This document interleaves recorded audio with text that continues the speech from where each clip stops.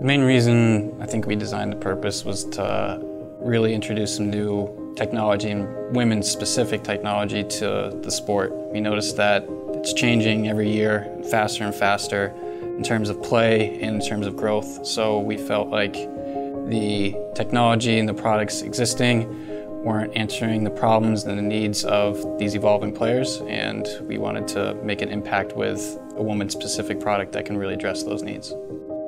My name is Evan McDonald. I'm a industrial designer here at Epoch Lacrosse, and I have a huge passion for lacrosse that drives me to create the highest performing products out in the market.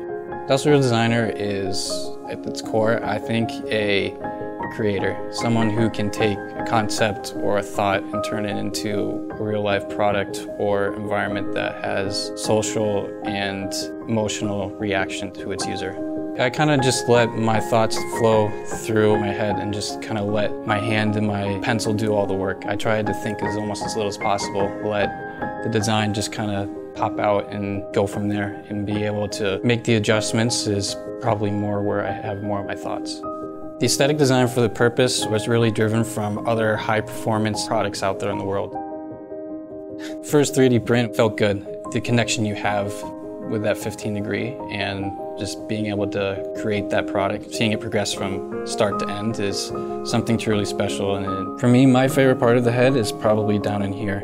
This was a concept and a sketch I had almost from the beginning of this almost like a intersecting rib right here, similar to what we have on the sequel and prequel, but it also mimics some of the design influences we have of high performance cars and other products out there where you have these like exhaust pipes and stuff like that that just have really cool features and really stand out to you when you look at them.